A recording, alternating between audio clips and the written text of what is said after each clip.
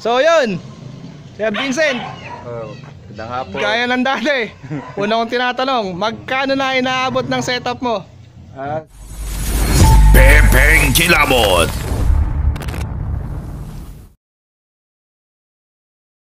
Suabing Bulakenyo.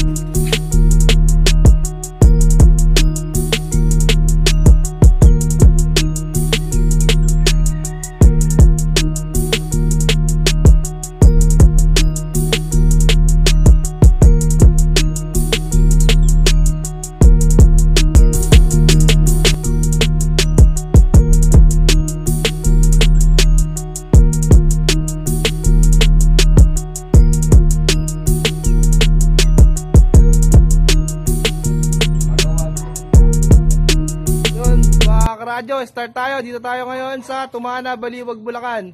Lingid sa kalaman nyo, si Sir Vincent Perez ay taga Baliwag. Sabi siya, ah, magandang hapon. Ganda nga po, no, sir, game tayo. Na tayo dito sa harap. Doon tayo sa loob. Sa ceiling niya, sir, digits to, di ba? Oh, Luis. Anim na digits. Pwede ba malaman kung ano to? O hindi na? Huwag na. Ano sir? Instrumental. Ano yan? Ah, JH107. JH107 dito sa ceiling niya sa may tapat ng passenger side. Anim. Tapos may maliliit na tweeter dito sa side. Violet. Apat.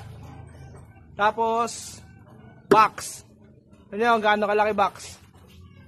Extreme ang nilalaroan niya. Bali yung load ng box na to ay walo. Walong di 12. 1,200 watts. Tama ba, sir? JH. JH 1212 para sa kalaman ng iba. Tapos dito sa dashboard niya, meron siyang ampli. Sir, ano dinadrive nito? Wala nga, pang ibabaw. Pang ibabaw. X12 F710. Tapos parametric niya, konti lang. Apat. Apat lang. Tapos, dito sa baba, meron ding isa, X12 710. Sa ano yata to, dito yata to sa high. Tapos, battery niya, Northstar 170 amperes. May switch. Lima. 1, 2, 3, 4, 5, 6. O, di ba? Lima. Anim. Di, eh, di siya dito mga kay Kajoben. Kumbaga dito nakikita kung mananalo o matatalo. Himas-himasin lang yan. Bolang kristal. Tapos sa kabilang side, Pumunta tayo sa kabilang side. Mamaya na yan. Sa passenger side niya, TV. 12 volts sir na to. 12 volts na. Ah, 12 volts. 12 volts na. Tapos meron siya dito category 7 na 8B2. Yan, 8B2, 6 na piraso. Tapos, di ko makita kung nasan yung ampli niya na pang pang sub. Pero pang sub. Secret. paano, paano, paano? Nasaan yung ampli? Secret daw. Tapos sa harap. Sa harap, makita nyo naman. Horn tweeter. Tapos may abang dito, wala dito yung Yung pang voltage 5 pang voltage 5 daw niya. Tapos ito, DS18. Tapos masipat 400. Dalawa yung DS80 niya. Para sa high. 8 ohms, 1,000 watts ang isa pala nito. Para mo doon sa kabila, masipat 400, 800 watts.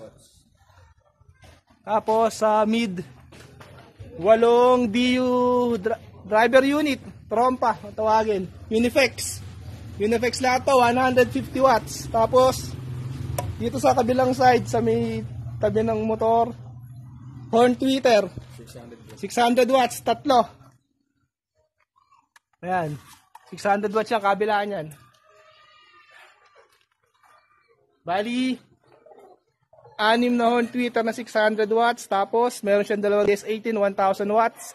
Tapos, masipat 400, 800 watts to. Tapos, yan yung harapan. Meron siyang dinadagdag dito pag bumabattle. Isa doon. Isa lang ba doon? Ano yan? Bali... Anin. Kulang pa ng anim to. Kasi, pang everyday lang.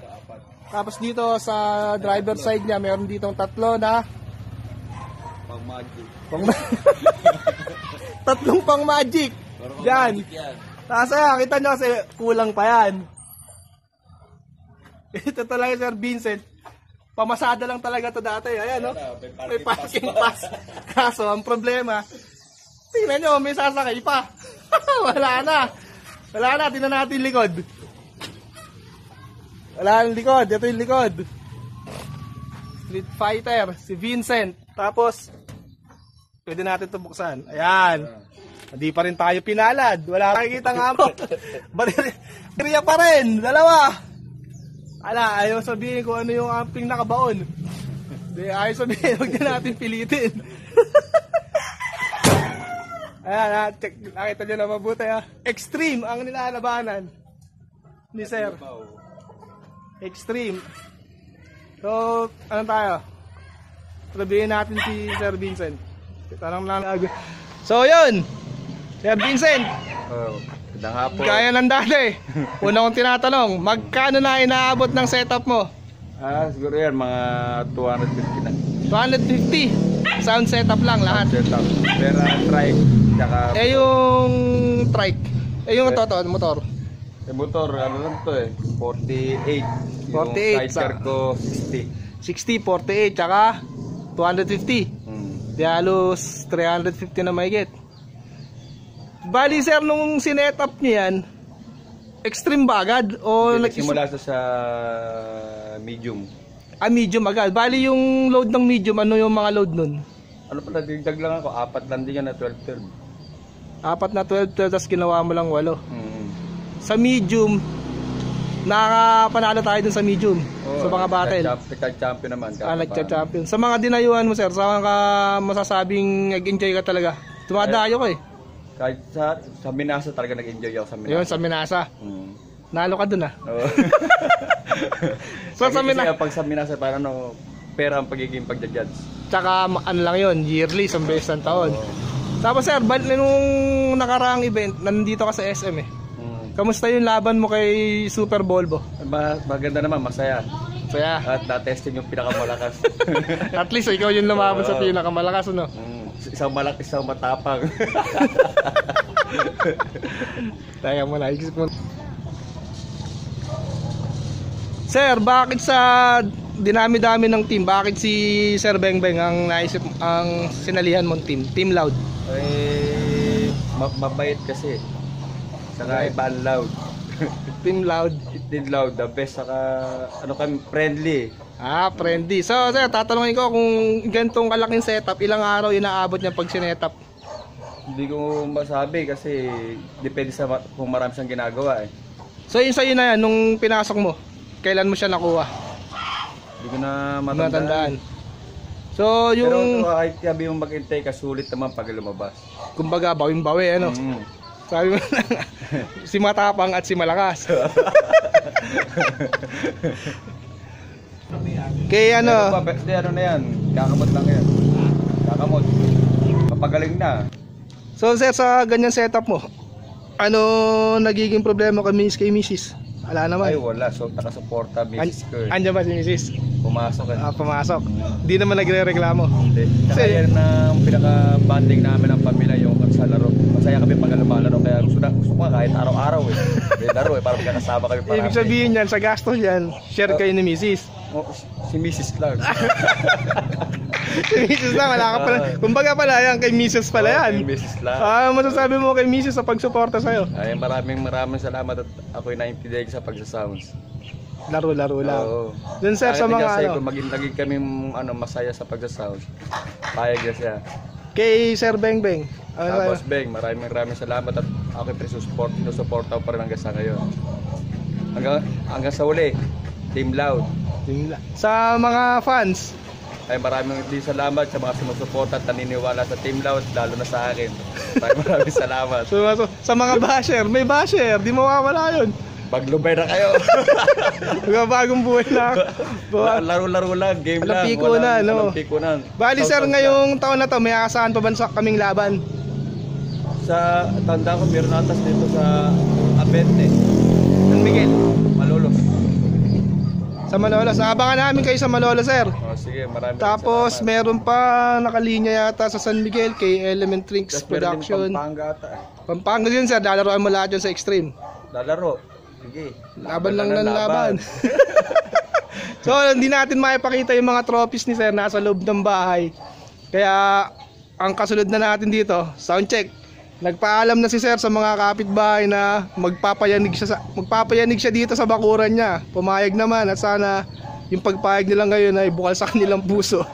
So ayun, maraming maraming- salamat kay Sir Vincent Perez na binigyan niya tayo ng pagkakataon na, makalka, na makalkal. Bagamat ayaw niya sabihin kung ano yung pang ginagamit niya pang ilalim niya, maswerte pa rin tayo na nakarating tayo dito sa mismong bakuran niya at magkakaroon tayo ng sound check.